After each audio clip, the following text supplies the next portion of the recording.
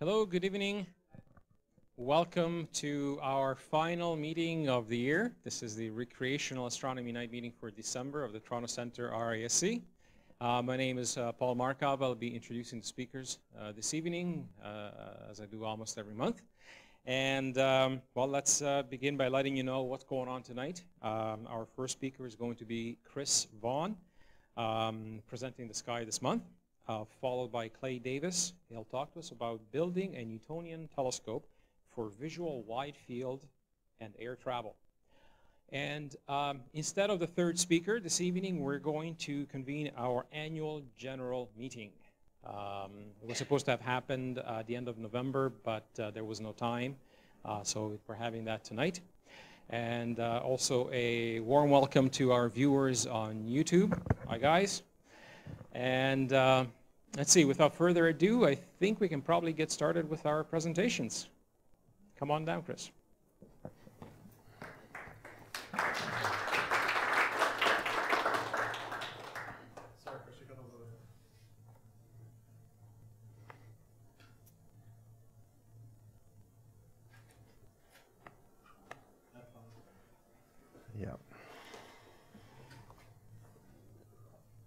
All right. Thank you very much. This is actually the sky this six weeks. But uh, here we go. Lots to, lots to talk about this month. Okay. Oops, home. Sorry. Hit home, page down. And we're done. And we're done. All right, so as I normally do, um, during a talk, I'm going to give you some background on some space exploration news, and there's a couple of big things happening this month in history. And then for observing, we'll get into uh, the various things happening with the sun, the moon, the planets, the dwarf planets. We've got a comet to look at. We've got uh, some uh, occultations and eclipses happening, and then I'll highlight some variable stars, double stars, and early winter targets when we get to the end. And I will be uploading all the content in the, in the presentation to the um, um, rascto.ca website. All right, so in case you're sleepy and you want to fall asleep, I'll just give you the spoiler alert up front. So we've got uh, three meteor showers to look forward to, the Geminids, Ursids, and Quadrantids. We've got uh, Comet 46P Wirtanen reaching its perigee and perihelion maximum brightness on the 16th. Winter solstice, of course, on the 21st, which gives us our nice long observing nights. And then we've got uh, opportunities to watch Algol brighten from its minimum we have New Horizons passing uh, a new world in the solar system on January 1st.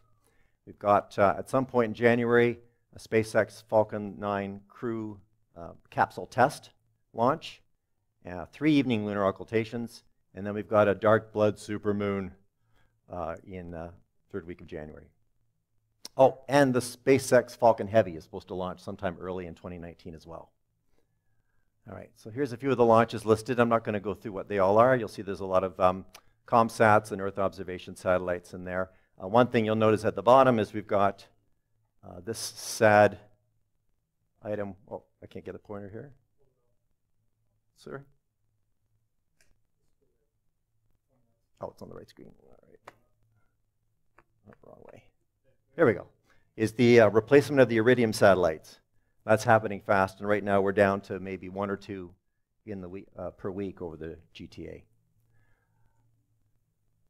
In terms of the, um, the manned space, crewed space flight, I should say, we've got uh, highlighted here the Falcon 9 rocket, possibly the first week of January. Um, that'll be the, um, the Crew Dragon capsule as shown in the photograph here. And then sometime early in 2019, as I said, the Falcon Heavy launch. That'll be the second Falcon Heavy launch. And then down here at the bottom is uh, an interesting one. That's um, China, um, India is sending its second mission to the moon. The Tron, Chandrayaan 2 will have an orbiter, uh, a Vikram lander, and a rover. So that'll be something to watch for as well. Okay, the big news on January 1st is that the New Horizons spacecraft is going to make its flyby of 2014 MU-69, which has been nicknamed Ultima Thule. And uh, that's a, a graphic showing its position in, uh, in the solar system with respect to Pluto and the inner planets. Um, occultation measurements of the object uh, indicate right now that it's either dual lobed or possibly a binary, a binary um, object. We're not too sure yet. But anyway, at, uh, on January 1st, um, just after midnight, so that's 12:30 a.m. on January 1st, is when the flyby will actually occur. Just in case you're interested, the object's position is um, uh, in the northwest um, evening sky in Sagittarius, but it's cl- too close to the sun to get a look at that patch of the sky right now. And here are the, here are the specifics. So um, you can see that the red bar across the top is the sort of timeline path of the spacecraft. Each tick would represent a minute. The sun's distance is 43.3, and the Earth's distance from the spacecraft will be 44.3 astronomical units, or times the mean Earth-Sun separation. And that gives the radio signals uh, travel time from the spacecraft back to Earth of more than six hours. So it'll be actually more than six hours before we know what happened during the flyby. But it does occur uh, just after we ring in the new year at about 12.30 a.m. on, on uh, January 1st. And I've converted the speed in kilometers per second into uh, kilometers per hour, so 51,948 kilometers per hour. And this, the uh, distance between the spacecraft and Ultima Thule will be only a third as far as it was from Pluto, so we should have even more um, high resolution imagery of the surface. The other big thing happening right now is that the OSIRIS-REx spacecraft is currently taking up position um, at a safe distance from the asteroid Bennu. It's spending the next um, month or so um, mapping very carefully the gravitational field and the shape of the asteroid, and so that it can determine an, an approach for the future, um, the time when it comes in to take a sample off the asteroid. So on December 31st, it's going to move closer to the asteroid, and then on February, it's going to descend to its final close-in survey orbit of 1.4 to 2 kilometers off the surface of the uh, of Bennu. And then um, I guess it's the special day, July 4th. They're going to go in for their sample collection July 4th of 2020. And then the idea is to have the sample get returned back to Earth and uh, crash land or parachute land in Utah in the desert on September of 2023. Uh, the latest news this week was that the instruments on board the spacecraft have detected the presence or evidence for water molecules uh, bound up in the asteroids. That's pretty exciting. Um, another cool part of this mission is that there's a Canadian element to it. So uh, we've contributed the OSIRIS-REx laser altimeter, or OLA, and that little instrument you can see is um, tucked in the, uh, the, right, the right-hand side of the uh, spacecraft's upper deck there. And the purpose of this is it uses a LiDAR, so it's a, it's a laser ranging measurement technique which will carefully measure the travel time, travel distance between the spacecraft and the surface of Bennu, and eventually create an ultra high resolution, ultra high accurate um, 3D model of the surface of the, of the asteroid. This is just a sample of a mock up of a topographic uh, model that was created in the lab. All right, so the other news this week is that um, recently we had the Mars InSight mission land on Mars on November 26th. And uh, what I thought was really interesting was that um, even though it doesn't have microphones on it, it does have a seismic monitor, a seismic sensor, and that seismic sensor has been able to detect the fluttering of the solar panels as the winds on Mars fl flutter the solar panels. And so they've created this little one minute video. Whoops, let's go back. One minute, one minute video. Let's go back. Got to go back on my other screen here.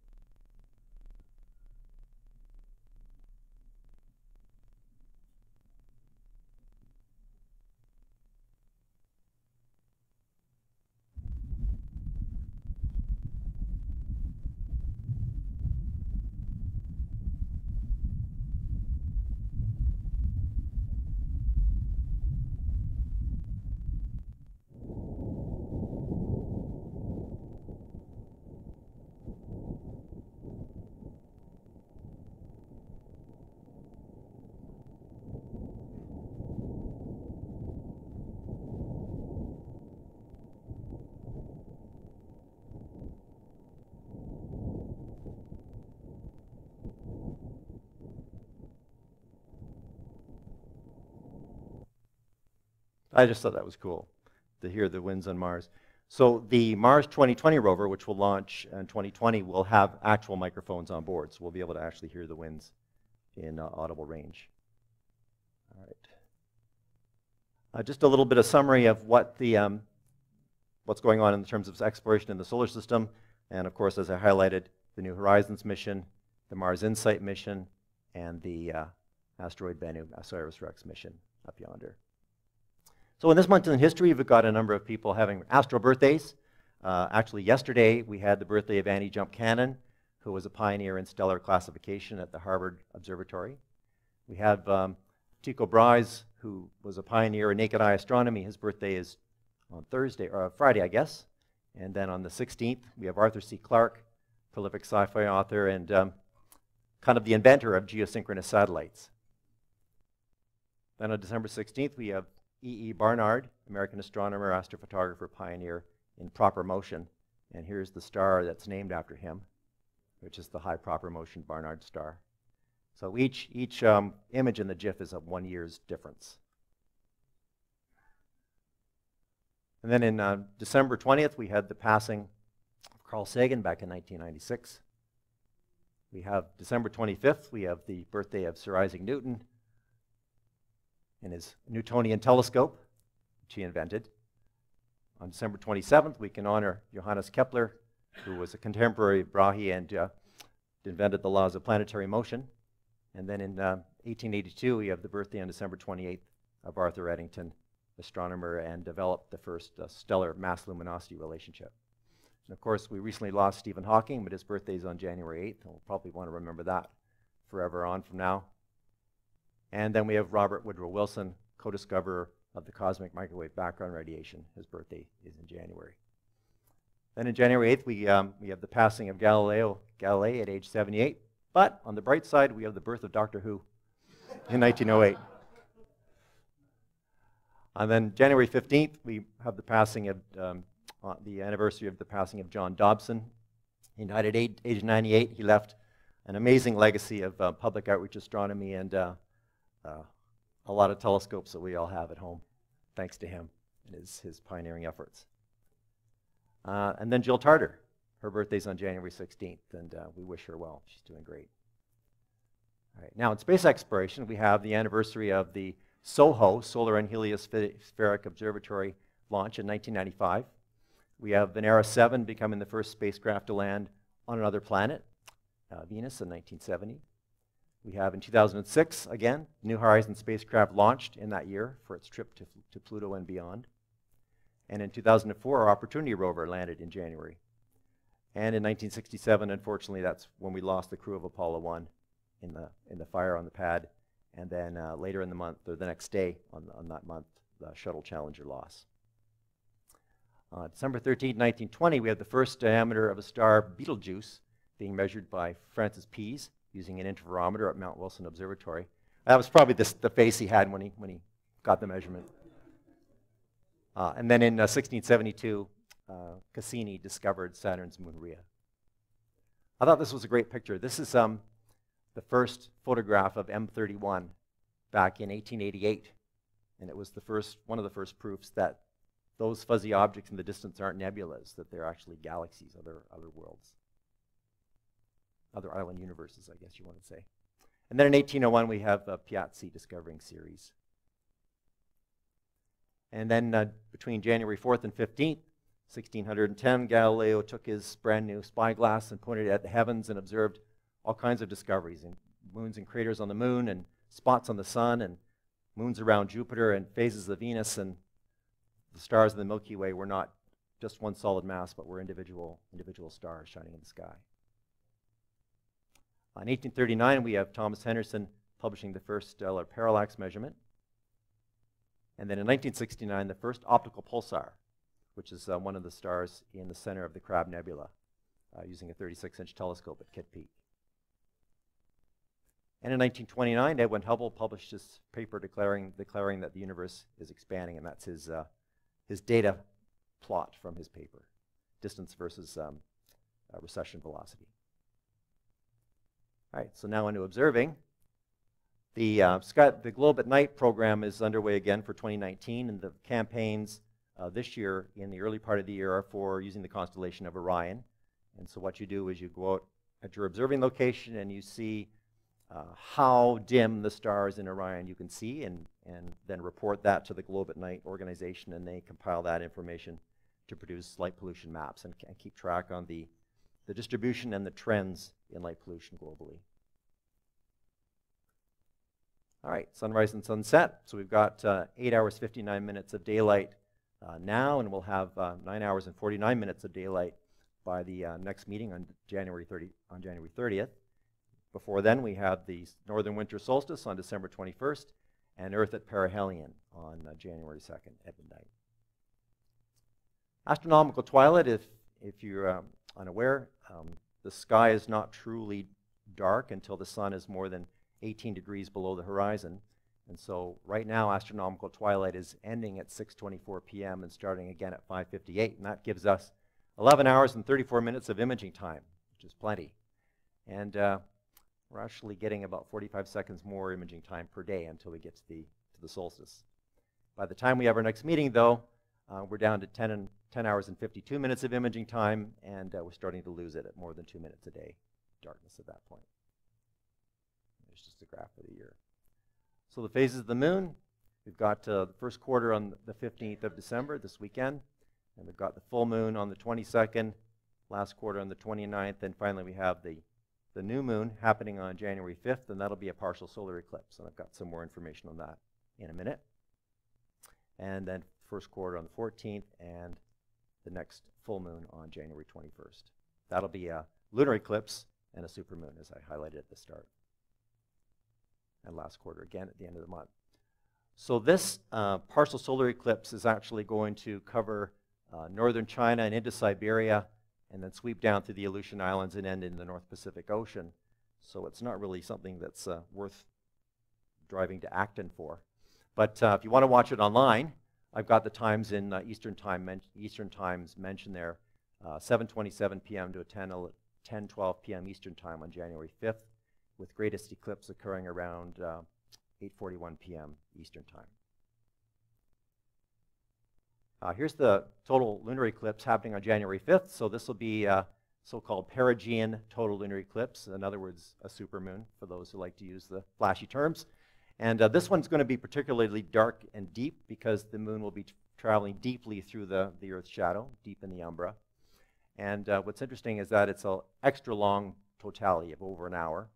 Um, note that at full totality, you'll have the Beehive cluster, um, M44, sitting just uh, 7 degrees to the west of the moon.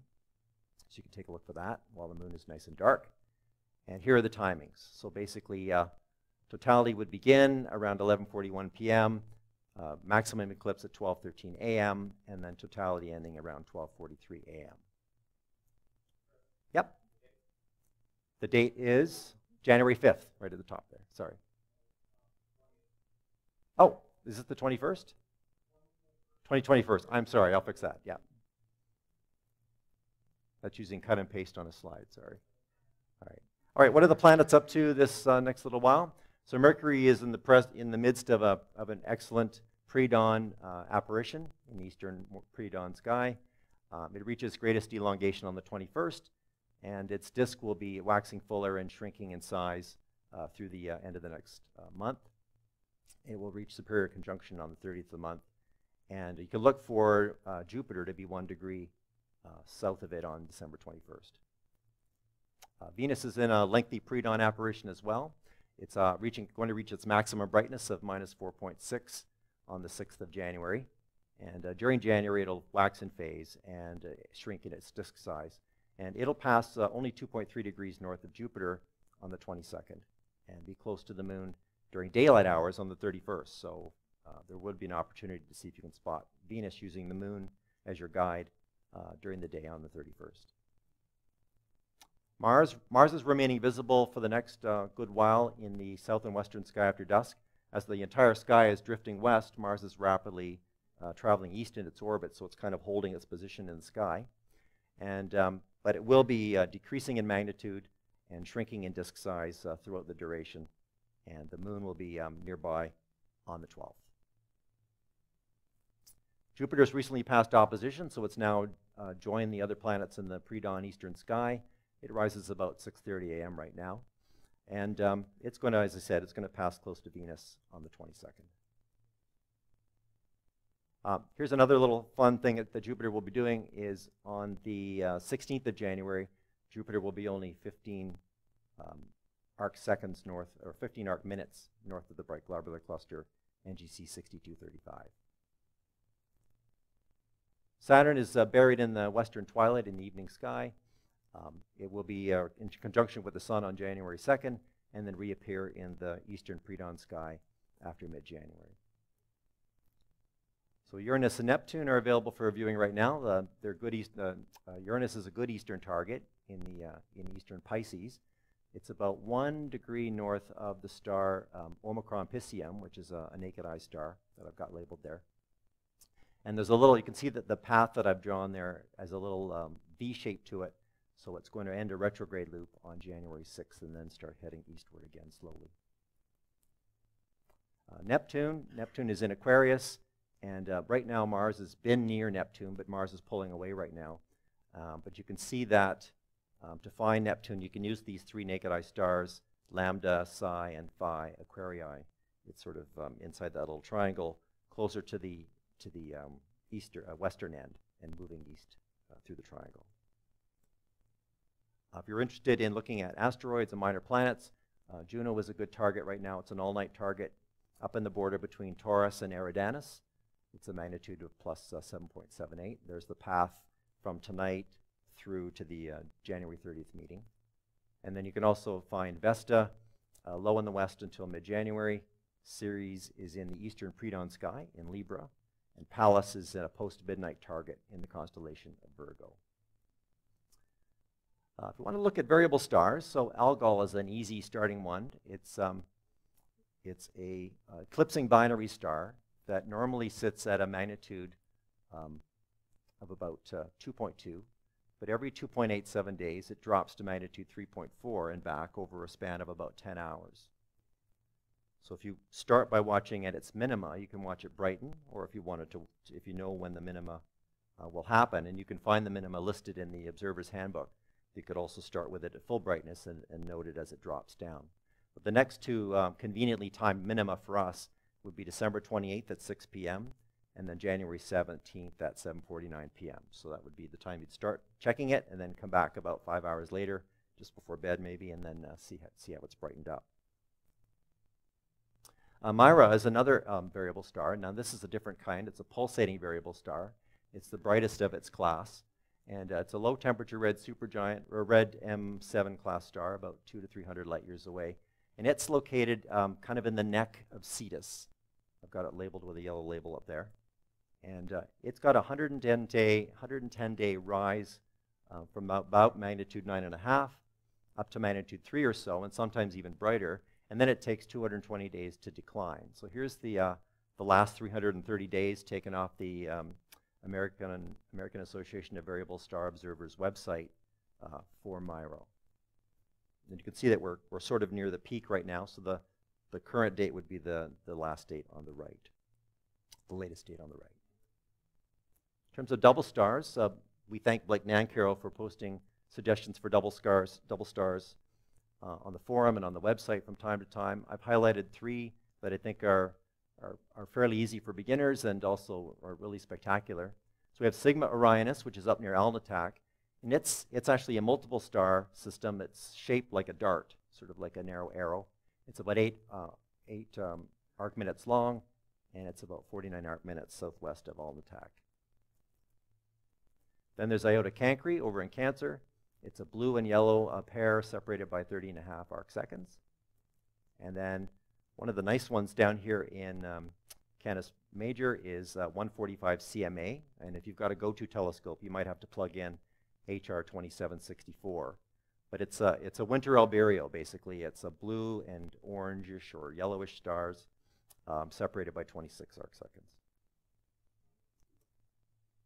In terms of what minor planets are up to these days, so we're here, we're near the end of the year now, so of now we've discovered up to now 1,867 new near-Earth asteroids or objects. Those are the red dots in the animation.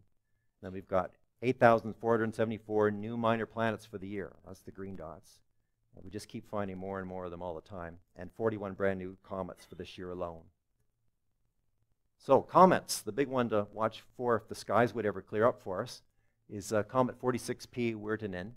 And it's a periodic comet, returns every 5.4 years. But it just happens that this year when it returned, its perihelion position is close to Earth in Earth's orbit.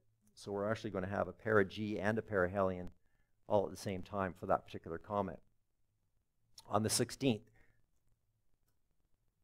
there's the light curve. It's not that up to date, but you can see it sort of peaking around magnitude 4, which should be naked eye visibility under dark skies away from the light polluted skies. It's certainly visible in binoculars. Uh, people have reported. I haven't yet seen it myself, but I keep trying.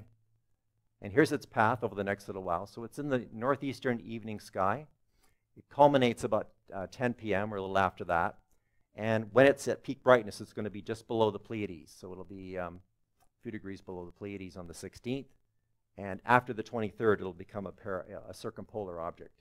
And you see it'll sweep uh, sort of north or uh, right to left in the sky, passing through um, Auriga and into uh, eventually into Ursa Major. And you've got a few uh, milestones here. It's going to pass um, 1.25 degrees southeast of the northern Trifid Nebula on the 19th. And we've got uh, 1 degree east of Capella on the 23rd. And then we've got 4 uh, arc minutes south of the Pancake Galaxy, NGC 2685, on the 16th. So if it's still bright enough, it might be a, a nice through the telescope photo opportunity. There's another comet that's available right now. It's 38P Stephan-Oterma. That's a long 38-year period comet. It's an all-night target in the constellation of Lynx, but it's, uh, it's about at its brightness, uh, bright peak now of about magnitude 9. So it's uh, going to need uh, definitely a telescope to look at that. And there's this light curve. So meteor showers. We've got three showers coming up. We have the Geminids, which are one of the strongest showers of the year. They're uh, already active now, and they'll peak uh, this Thursday, this Thursday um, before dawn. We have an early setting crescent moon that'll help keep the sky dark if the clouds will go away. And uh, these meteors are often intensely um, colored and slower than average because we think the, the particles that produce the shower are derived from a, more rocky body, an asteroidal body, called 3200 Phaethon. The Ursids are coming up from the 17th to the 23rd, and they'll peak before dawn on the 22nd. The irradiant for the Ursids is uh, just north of Kochab, the star Kochab in uh, Ursa Minor. And uh, that's going to give us, a, that's going to have a full moon that night, so that'll spoil the show for us. And the quadrantids. So the quadrantids will be active in early January. They'll peak on the evening of Thursday, January 3rd. That's when we'll be heading through the, the uh, most dense part of the shower, of the debris field. But the best time to watch for them will be before dawn on Friday morning. And there'll be no moon, so the sky will be nice and dark for us. That's an intense peak, but it's short. It's only about six hours in duration. And they could sometimes get up to 100 per hour. There's um, often bright fireballs in that meteor shower. Now, that this um, meteor shower is named for an abandoned constellation called Quadratus Muralis, if you're curious about where that is. It's kind of above uh, Bootes and Canes Venatici and there's Corona Borealis down here on the lower left, so you can sort of get a sense. It's up near, sort of between Draco, Hercules, and Bootes, and um, uh, Corona Borealis. So in terms of looking at um, man-made objects in the sky, there's the International Space Station are currently doing uh, evening passes until the December 16th, and those are mostly between 5.15 and 6.30 in the evening. And then a morning pass series begins on the 22nd to January 13th, and most of those are between 5.30 and 7 a.m.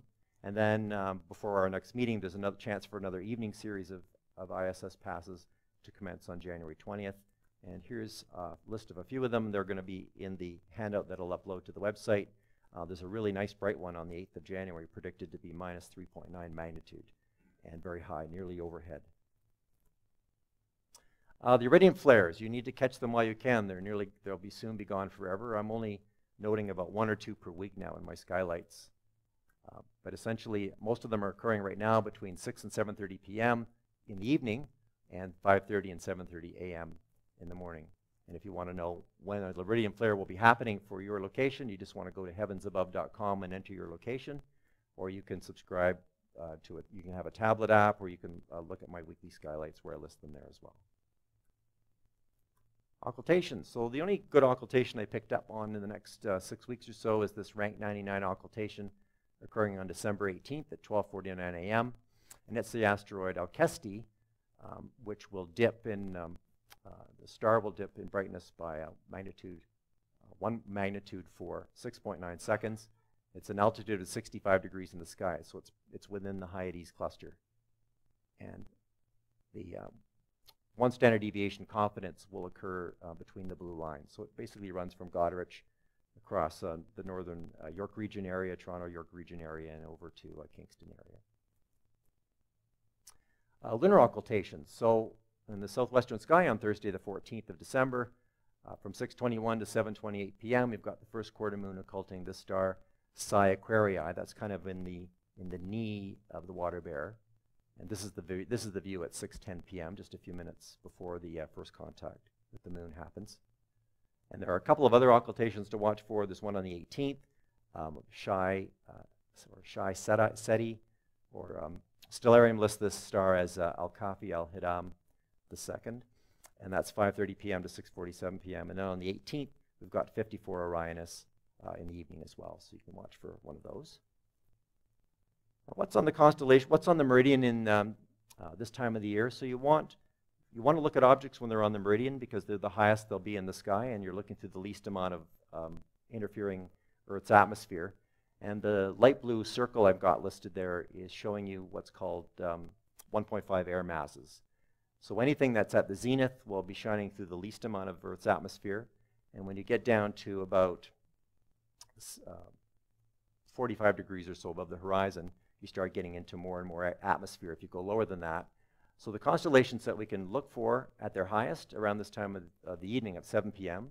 would be Sculptor and Fornax down over the southern horizon, Cetus a little higher, and then we get into eastern Pisces, Aries, Triangulum, Andromeda, western Perseus, and then cut off at the top of the, the sky chart, we've got Cassiopeia, which is also high in the sky at 7 p.m. A couple of hours later, we pick up uh, Fornax and Eridanus. We've got uh, Again, Cetus and Taurus, Eastern Aries, Perseus, and Camelopardalis, Again, up above uh, the, in the northern, high northern part of the sky. By 11 p.m., we pick up Columba and Lepus, Orion, Western Gemini, Eastern Taurus, Auriga, and Camelopardalis still. And then at, by 1 a.m., we've got Puppis, Canis Major, Monoceros, Canis Minor, Eastern Gemini, Western Cancer, and Lynx right up near the top, near the zenith. So what do you want to look at if you um, go out observing or maybe uh, get folks together over the holidays for a star party and want to show them some really, really nice things.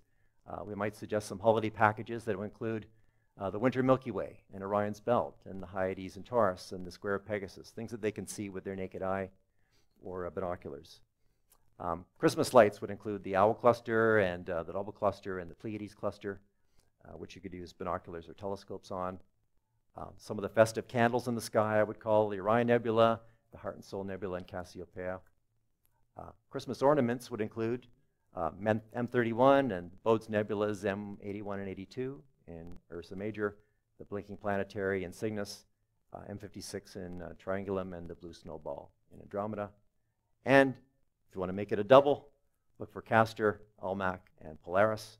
And centerpieces would be the big bright stars to point out to them would be Betelgeuse and Rigel, Capella, Aldebaran, etc. So I hope to see everybody at Long Sault or uh, Village, and I'll say thank you. Don't forget it, Ryan. That's it. Thanks.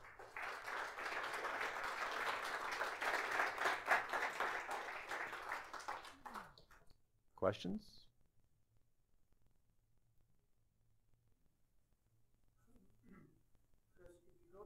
Uh, image of uh, uh, Bennu, please. This.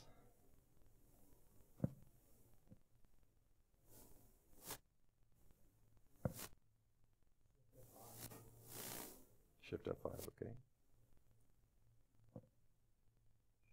That's okay, just, uh, oh, okay. Um, what amazes me, and I'm asking you because of your geology background, it um, the Earth bulges out a little bit, but it's always rounded, and that almost seems like you have a uh, almost a straight line from the North Pole to the equator, and then another straight line to the South Pole, etc. You know, and and I'm just astounded. I presume that's a reflection of the fact that it's gravel, but perhaps you have some insights in terms of that shape. Well, what I thought was interesting was that um, the Hayabusa mission landed at Ryugu uh, a month or so ago, and it's the same shape, almost like a Dungeons and Dragons die. So I, I, guess it's a function of it's, it's trying to be round, but it's not quite massive enough to get all the way around.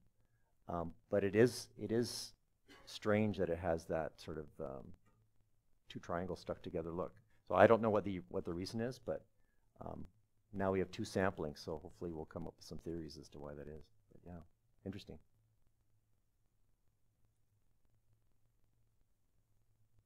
No? Great, thanks. Okay, thanks again, Chris.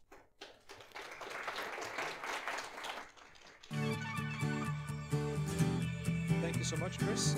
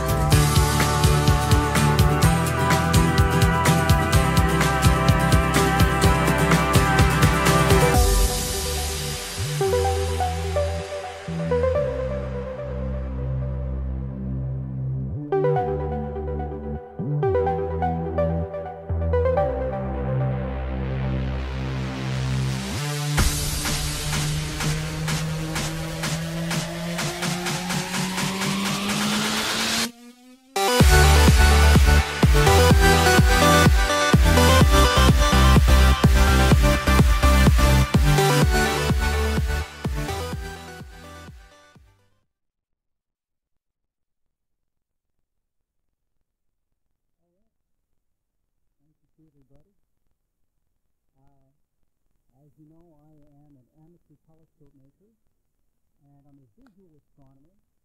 It's all about uh, great observing to me. Oh, ho! I'll take it from the top.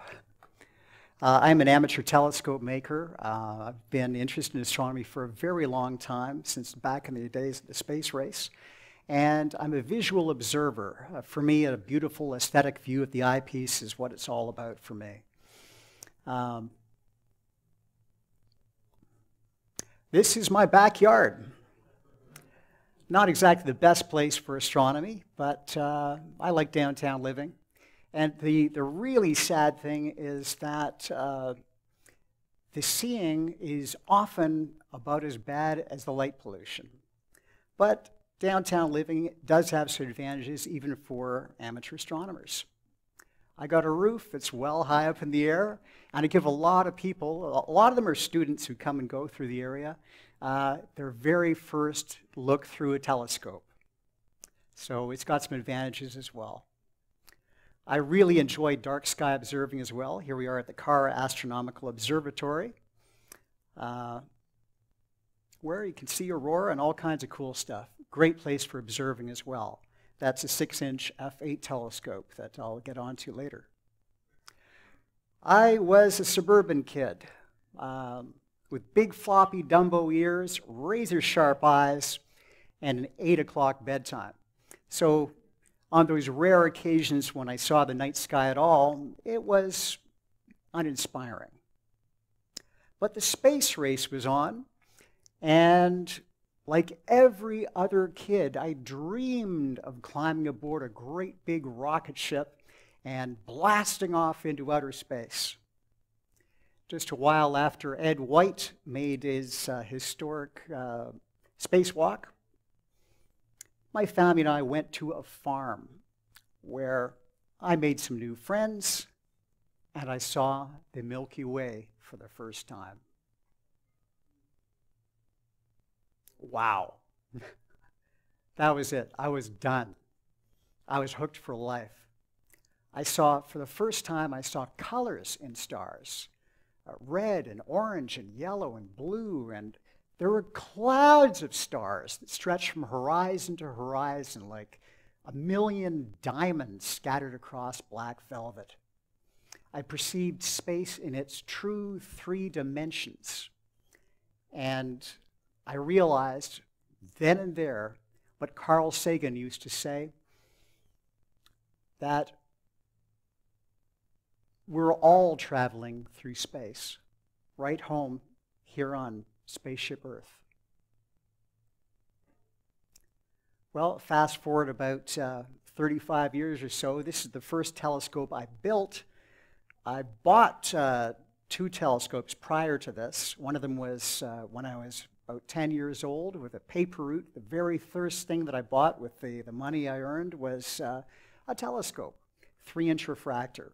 It was on a rickety mount and showed lots of false color, but didn't matter. I loved it. And um, I took it out just about every clear night. I much later got a 10 inch Dobsonian that didn't quite cut it for me for observing planets, which was mostly what I liked to do for my backyard in Scarborough at the time. So I built this telescope from an RF Royce design. It's got uh, RF Royce optics down here and Protostar secondary. What wonderful scope except for one thing. It was so big that I could break it in half here and put it in the trunk of the car, but it completely filled the trunk of my car so it didn't leave a lot of room for camping equipment, so it didn't get out to dark sky as often as I might like. So I sold it, and with the proceeds, I bought a 12 and a half inch telescope. That's not it. That's the next telescope that I built. This is a 6 inch f8. I wanted something with more portability than the 12 and a half inch. Oh my. Don't know what's happened here. Okay. I don't, um, I wanted something with more portability than 12 and a half inch. And I was fascinated with the concept of this long tubed six inch f8, which had been the standard, um, de facto standard uh, instrument for amateur astronomers for decades. And I was curious to see why. I'd also never owned a uh, equatorial mount so I thought I'd give it a try. The problem with it was portability. That mount was pretty heavy. It took time to set up. It was more trips to the car along with a battery pack and so on. So eventually I sold it and I built this, a simple Dobsonian mount. This is my most used telescope now. Uh, wonderful instrument. The optical tube is the same, and uh, it loads in the car in one trip. So uh, it's, uh, I, I, just love it. This is the 12 and a half inch uh, telescope that I bought from somebody who was poorly uh, made originally. This one is completely rebuilt. The only thing that uh, is original on this scope was the, uh, the primary mirror, the secondary mirror, and the focuser. Everything else is new. I built that one at the Carr Astronomical Observatory. Optics by Norman Fullum. It is my cure for aperture fear, fe uh, for aperture fever. First light was at the Winter Star Party in Florida. Uh, clouds prevented me from using it or even trying it um, at home. I met a lot of amateur astronomers and uh, professional astronomers. Uh, this instrument, uh, a long tubed, I think it was a 10 inch f8 as I recall, uh, it was made by a NASA engineer, which is, of course, Cape Canaveral is just up the road. I actually met Al Nagler down there and shook his hand. We had uh, a nice chat. The skies are pretty nice too. The skies were quite steady. And of course, Florida is a lot further south than Toronto, so uh, I could see a lot further south could see all kinds of southern eye candy that you just cannot see from southern Ontario. To go further south than that, well, I've got this little TV60 apochromatic refractor. Uh, it's handy. It's, a beautiful scope, punches above its weight, and you can take it just about anywhere. Charlene can tell you it's a wonderful little scope. But it's still only 60 millimeters. I craved something bigger that I could take on board an airplane. So I really had to consider what did I really, really want? When you build a telescope, it's a pretty big commitment, especially if you build something that's complicated, if you design it from scratch. Uh, so I used Albert, a chapter from Albert Heeg's book to really ask myself some questions that he published in this book, a whole lot of questions you might never dream of. You might recall that that first telescope that I built, that 10-inch f6, was pretty big, and it took up so much room in the trunk of the car that it didn't get out to the dark sky very often. I didn't want something like that to happen to me again, so I looked at a lot of these questions and uh, asked myself a lot of serious questions. Mused on it for a long time. Now, you build a telescope around optics. And from my way of thinking, the most important optic of all is right here it's your eye as a visual astronomer. Of course, if you're uh, an imager, you want to consider your camera chip. You want to build around that. There's a great article in the RASC Observer's Handbook, uh, Telescope Exit Pupils, and uh, it has a bit of a discussion about RFT, Richest Field Telescope. That's where you can get the brightest possible image at the eyepiece for visual observing. Uh, there's a lot of discussion about other size of exit pupil, but that's really what I wanted for this scope.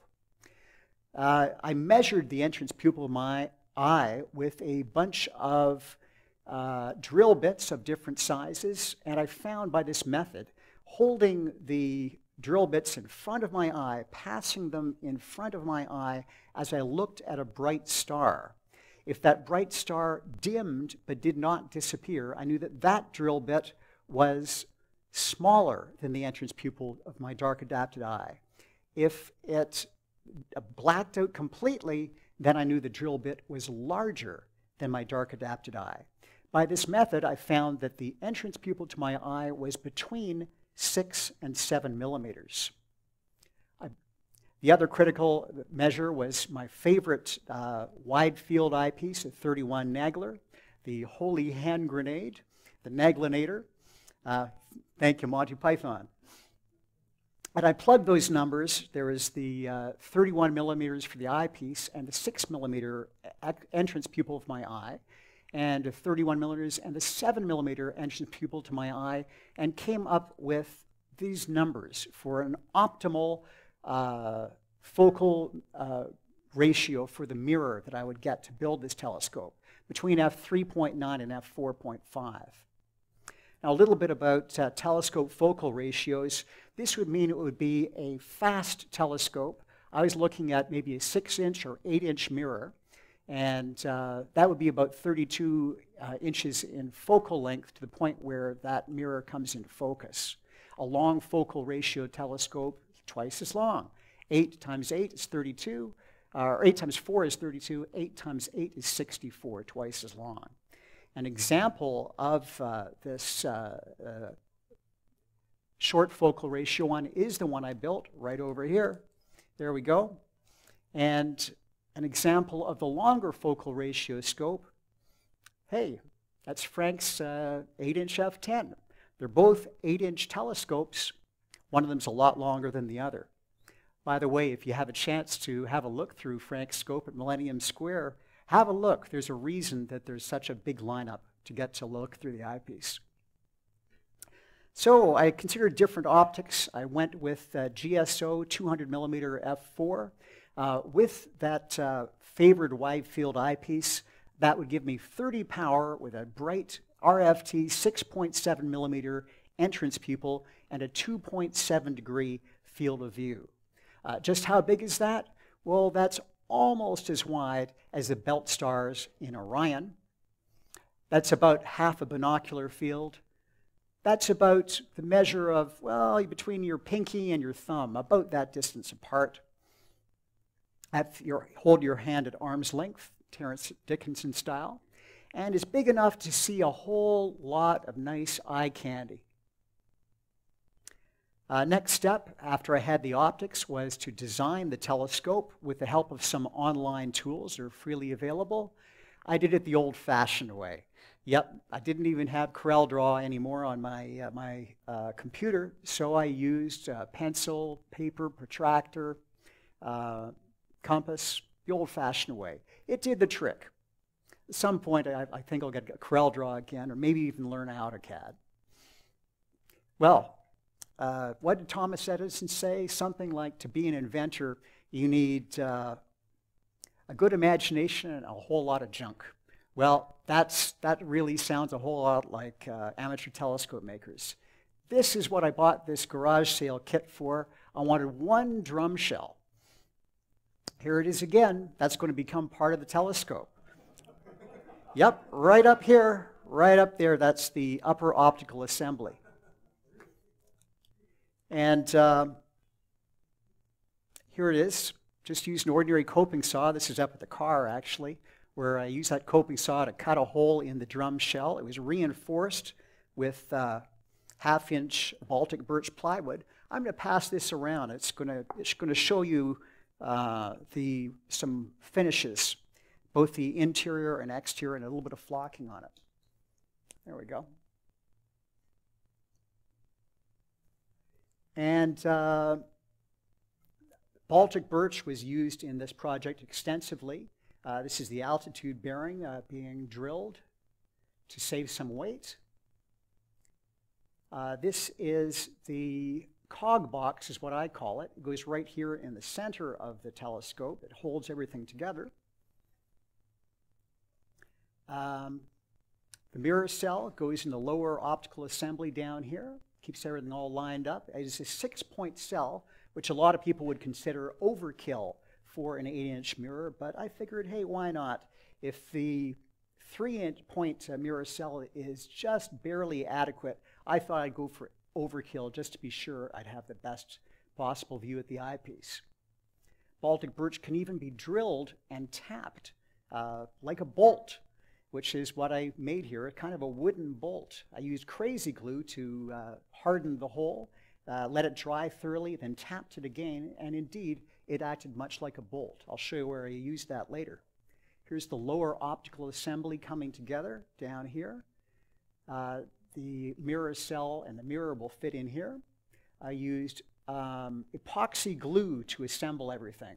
Uh, that's uh, a very strong glue, which I also used to coat all of these finished pieces. This is after six days of work. I coated all the wood uh, with epoxy to waterproof it, then sanded it down in preparation for painting. With, uh, you got a sample out here somewhere, that's what I did for the exterior. This is before painting and after. This is what I used for the paint on the exterior, Rust-Oleum uh, hammered black. And I used a Behr Marquee for the interior surfaces by using a paintbrush and just tapping it over the surface of the, uh, the wood. That gave a kind of a, a dappled, rough finish, which uh, made it seem a little bit blacker than it was with the uh, Krylon Ultra Flat Black, which was the first coat on the interior of the telescope. Next, onto the aluminum. Uh, you can cut aluminum with uh, hand tools, carpentry tools. Uh, I tested parts as I went along. Here's the rocker bars, which will be part of the mirror cell, taking shape. Tested the clamps in the cog box. That'll go right over here once again. And the spider is after design by R.F. Royce. It's a curved spider to minimize diffraction from the spider vanes. I've, on other telescopes, I've got four vane, straight vane spiders and a three vane spider, which I use in the six inch, uh, around bright stars and planets, you can see those diffraction spikes. Uh, for this one, they're a lot less visible, barely noticeable, even though it's quite a thick piece of metal. This hobby brass is available from Michaels, and Sayal Electronics. Now, earlier I mentioned that I drilled and tapped a piece of Baltic birch plywood. Here's what I did. That's actually drilled and tapped. Here is the bolt that fits into it. And uh, the, uh, there's that large, large secondary mirror which is necessary for such a fast telescope with such a slow or such a fast uh, focal ratio. And the curved spider you can see up here as well in the optical assembly. Uh, I calculated uh, the uh, truss tube lengths uh, with, uh, did all the trigonometry with an online tool, and used a pipe cutter to cut the truss tubes to an accuracy within one millimeter. I used a jig to drill all of the tubes to the same length, and I also used a jig to drill all of the aluminum parts so that I could have a consistent size from one part to the other so that the telescope could assemble um, quite easily. Uh, before I painted them, I did a test assembly of the parts to ensure that the telescope could reach focus with all of my eyepieces. It didn't. Uh, it could focus with some of my eyepieces, but not others. I shortened the focal length of the telescope by about three quarters of an inch, or about uh, two centimeters, and uh, then all of my eyepieces could reach focus. Around the edge of the primary mirror, I put a piece of formica. I glued it in place. That was to support the uh, mirror at its center of gravity. Here's why. This is the lateral bearing to prevent a lateral shift of the mirror, sideways shift. Uh, so that will hold the mirror in place uh, sideways. And down below, it's a six-point mirror cell. Here you can see four of those points, which ride on the rocker bars, which evenly distribute the weight of the mirror. From below, there are three collimation uh, um, knobs, which adjust the uh, the mirror cell, which you can see parts of it through a hole where later I will install a fan. From above, here is all six points of the cell, and you might just be able to see these two black Teflon things that the mirror's edge that I showed you earlier will rest against. And there's the mirror in position. You might just be able to see a little bit of those uh, lateral supports. And finally, finally, after about a nine month gestation period uh, for this telescope, came not first flight, but first light at last. How'd it do? Pretty good. At RFT, um, I could find objects from that nice wide field of view pretty easily, even without a finder. There's the Swan Nebula through an O3 filter and the Lagoon Nebula. And in between these two objects, I saw all kinds of nebulosity using an O3 filter that I had never seen before. So I was pretty happy about that. I think that's because I had an RFT view. Also had a look at the Andromeda Galaxy. Uh, all of the part that you can see visually fit within that uh, uh, 2.7 degree field. Uh, imagers can extend that out to about three degrees. Uh, so that would extend beyond uh, what I could see visually with this scope, but uh, it was a very aesthetic uh, appearance. Just looked dusty, bright, and beautiful. At higher magnification, say 92 power and above, I found that diffraction started to become an issue, and the, the image started to break down. That's the fault of this large secondary mirror. Um, how big? Well, it is about that big. If this is the primary mirror at 200 millimeters, this is 70 millimeters or about 35%. So it's quite large. Um, ordinarily, with a, a, longer focal ratio uh, Newtonian, such as, say, a 8-inch f6, you might find about a 20% secondary, which causes a lot less diffraction, making it suitable for higher magnifications. Um, according to uh, Texereau, uh, if a, a long focal ratio Newtonian with a secondary mirror of just 13% can have truly refractor-like views. Uh, so that's an advantage of the long focal ratio telescope. So that's how it did visually. Let's see if I could actually carry this on an airplane. I disassembled it bit by bit and fit it in a suitcase. Yes, it fits. But would it fit within uh, airline baggage restrictions? Yes, it did. Still left me a little bit of room for socks and underwear.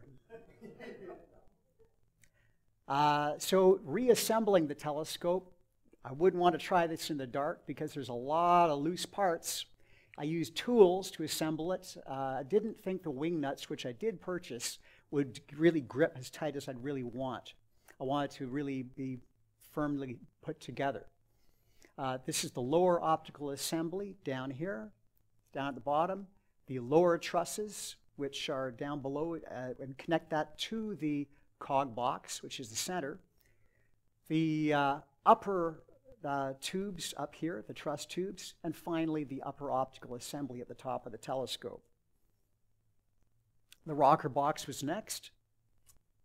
It uh, fit together kind of like IKEA furniture, and finally assembled in 36 minutes. This was the second time that I assembled it from uh, that little pile of junk that was in the, uh, in the suitcase. I've uh, taken it out to Long Sault, that is a uh, dark sky observing spot, about an hour and a half from home. Um, this is an 8-inch f6 with a longer tube uh, near, nearby. That's somebody else's scope. And the 8-inch f4 is pretty short and stubby by comparison. So after 180 hours of work and $600 to build it, so not a lot of money, but a whole lot of hours. Was it worth it? For me, yes. Uh, it did what I wanted it to do. Um, the question that many of you might be asking is, should I build my own telescope? Well, yeah, maybe, maybe.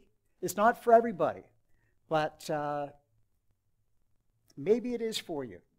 The big question, the big question out of all of these and many more is, hey, ain't it the truth? hey, Newton was, uh, you know, he was the warden of the Royal Mint. He ought to know. Um, you might love building a telescope. Uh, I do, because I, that's the main thing for me is that I enjoy doing it. I enjoy building things. I enjoy designing things. But in the end, it's all about a great view at the eyepiece, a really beautiful aesthetic view that reminded me of what I saw when I looked at that night sky for the, gorgeous Milky Way when I was a five-year-old kid. By the way, Time is Money was actually written by Benjamin Franklin, not Newton. They say that we stand on the shoulders of giants. Well, I'm no Ben Franklin. I'm certainly no Newman. Uh, no uh, Newton. Uh, Newman. I'm more like a Newman.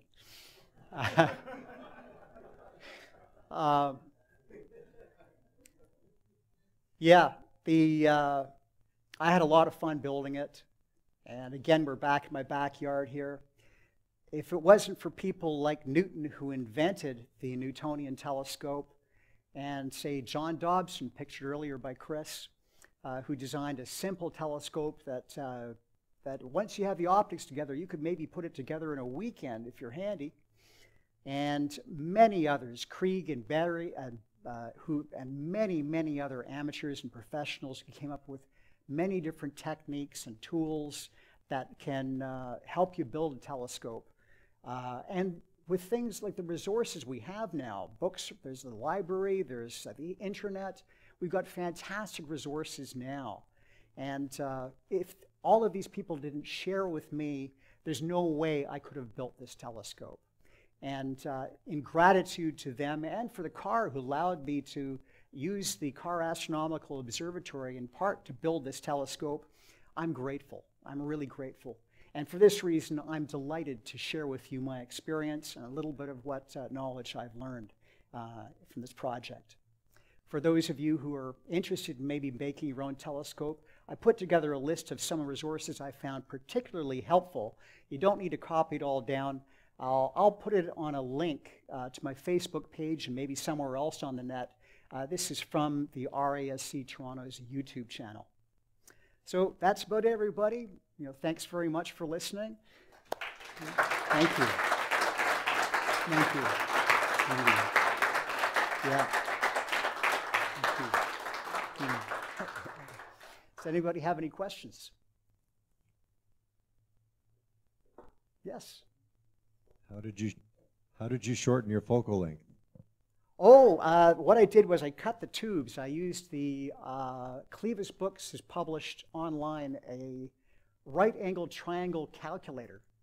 And I, um, uh, I found out, well, I just guessed, well, another three quarters of an inch or so should do it if I shortened the focal length by that much. I calculated all of the, uh, the truss lengths all over again from scratch, uh, moved uh, the jig, made it uh, a little better, or just the right length, and that time it worked without a hitch, no problem. Uh, Fascinating uh, project.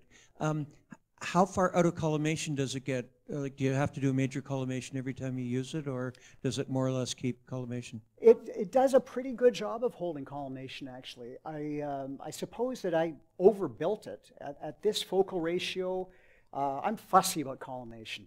So uh, I find I can uh, leave it fully assembled almost all the time. I just uh, re, uh, rebuilt, I had it assembled actually way back in July. And then the next time that I disassembled it and reassembled it was just this week. So in the meantime, it's been fully assembled that whole time. So um, in that whole time, I've just done minor tweaks to collimation. During the course of a night, I do not need to recollimate, even though it's a fast F4. It's, uh, it's a pretty beefy structure, short and stubby and really wide. Uh, it's, um it's, it's, it's built kind of like a troll, uh, uh, shorty. So I'm happy with how it collimates and how it holds collimation. Yes? Question online. Yeah, question online is how much does it weigh?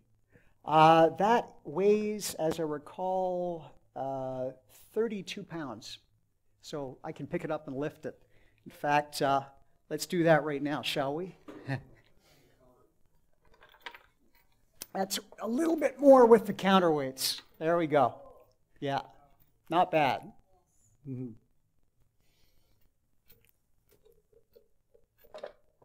With the mirror removed, I have not yet put in uh, a couple of things. I've got a few tweaks to do yet. Uh, but uh, that's with all the toys here, weigh a bit more. But uh, I'm, I'm really pleased with it all all in all. Any other questions? Oh, yes. Yeah, the um, illustration of Andromeda before, Mhm. was that a sketch or was Oh, that, that wasn't a sketch. No, that was a NASA picture. uh, was that a picture like you just go in and you see it right on the spot like that, or? Uh, that was pretty close to the naked, or at the naked eye view. That was Very pretty close to the telescopic view. Right. Uh, yeah, I just uh, I got an image off the net that NASA produced. Uh, that was in full color. I just uh, took out the color, and that was pretty close. Uh, in this image, it would extend a bit more than what I actually saw at the eyepiece. But um, uh, you cannot see all of the Andromeda galaxy uh, visually. You need to image it in order to get it out to that full three degrees. So it fit well within a 2.7 degree field of view. But uh, it was a beautiful view. One of my, uh, one of my favorite appearances of the galaxy. It's beautiful in any scope. Yes?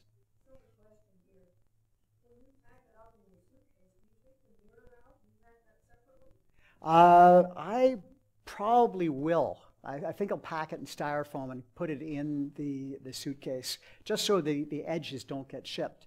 Uh, one little job that I've got to do is put in some nylon bolts to uh, hold it in place so that I can leave the mirror, and at least when I'm going, uh, got it in the trunk of my car.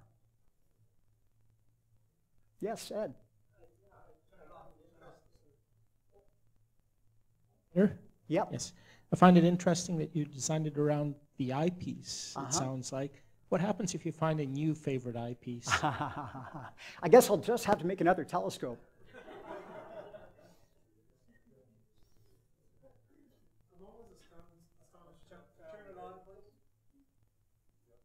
I'm always astonished in, in the way you guys build telescopes. Mm-hmm. Uh, it's one thing to see a telescope in a magazine or online. It's another thing to actually see the actual fruits of your labor. Uh-huh. So I just, and the design is amazing. I, I Thank you. walked in, I thought that was something that you bought, Mhm. not realizing it was something that you made. So great job. Thank you very much.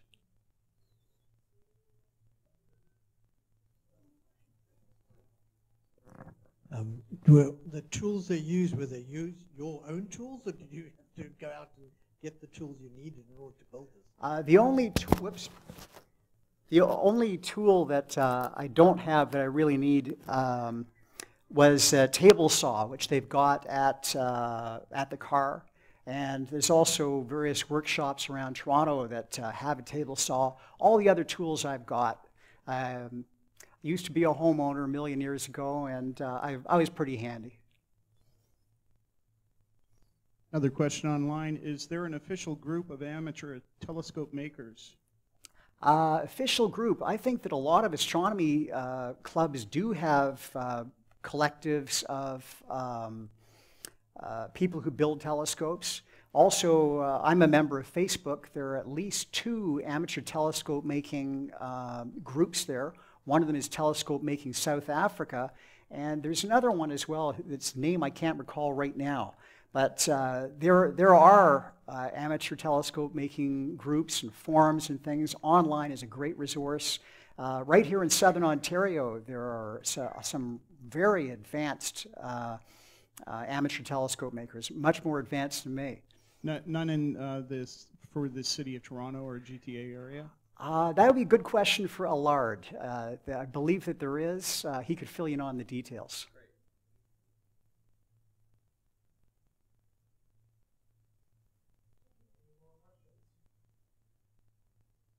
Questions? No, we're good? Okay, Great. excellent. Thank you. Thank you. Thank you. Mm-hmm.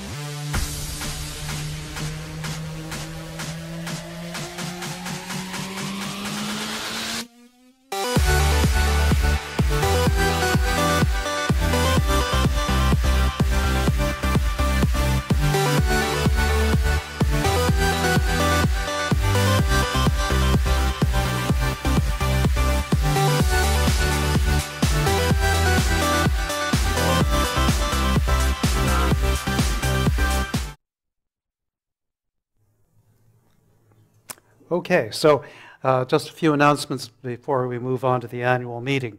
Our next uh, meeting is January 16th. That's going to be a speakers' night. And Paul Delaney is arranging the, uh, the speakers for uh, the next few months before he disappears on his next sabbatical uh, from January until June. So uh, before he makes his, his big getaway, he's going to give me a list, right? I will. I, I've got a couple of people nearly on the hook for January, but I, I can't give Yeah. the, the name at the moment. But I will give you the advance on the February meeting. I know that's not the one Okay. that's up there, but the February meeting is 40 years since the Great Canadian Solar Eclipse of 79, February of 79, and Randy Attwood was presenting memoirs from 79 Okay. in February. Okay, so 40 years, uh, so the February talk is 40 years uh, celebration of the great 1979 solar eclipse. I still remember that one. It was so darn cold. Uh, and, and the other thing was that uh, the night before that, uh, before we left, uh, my car decided to fry its electronics circuits at the corner of Davenport and Christie. And I had to get it towed, unload the stuff, and get out to the airport to catch the plane. That was a stressful night. Uh, anyway, well, we'll look forward to uh, that in February, and we'll see whatever uh, the January talk is and uh, get that online uh, as soon as we can. Anyway, uh, the next recreational um, astronomy night is on Wednesday, January 30th, and the slides got sent to Andrew before we uh, got the information, but uh, Sky this month um, will be presented by Andy Beaton uh, that evening. Uh, we've got Blake talking about outreach at the David Dunlap Observatory, and then Henry Lotin is going to talk about a project that he's been working on, which is a new planetarium for Toronto. Uh, planetariums rise and fall, and uh, they come and uh, projects come and go here in Toronto. And uh, Henry's going to be talking about his latest effort to get a replacement for the McLaughlin. So that should be interesting to hear what he's got to say. Next solar observing uh, session is going to be on Saturday, January the 5th. Uh, next year, what we're going to do is go back to what we did before, which is holding the solar observing sessions on the first Saturday of every month. Uh, we tried to do it uh, this year, moving it around, uh, choosing the weekend according to the lunar phases, thinking that that might make it a little bit easier for uh, people to plan their observing. What we found was it was more confusing than anything else. So we're going to go back to the old thing. And so, uh, again, first Saturday of every month will be our regular uh, event with the backup for bad weather being the following week. We've also gotten the uh, dark sky and city star party dates set up. And so what we have is uh, the next dark sky star party will be first clear night of the week of 14th of January at Long Sault. And then the first city star party is uh, first clear night of the week of January 7th. Uh, uh, again, watch out for uh, the go or no go messages on the website, on the forum, and on our various social media. We also have a tentative date for the first of six evening, sol evening observing parties at the Science Center. This is subject to confirmation, uh, but uh, Rachel has proposed three nights in the winter, so that'll be uh, one night in each of uh, January, February, and March, uh, running from about 6 p.m. to 8 p.m. when the Science Center is open. And uh, the idea would be to have the telescopes out on the telescape, and we would do the usual go, no-go kind of arrangement for these events as well. Uh, oh, yeah, that, that, oh, right. Yeah, that should be 6 p.m. to 8 p.m. hey, it's winter. It's an all-nighter. Sorry about that. That's a, a typo. Um, but um, anyway, so our first of these events, subject confirmation, uh, will be on January 12th. And uh, we are looking for somebody to help us out as a coordinator for the event. Uh, through the um, uh, year. So anyway, we'll see how this works out.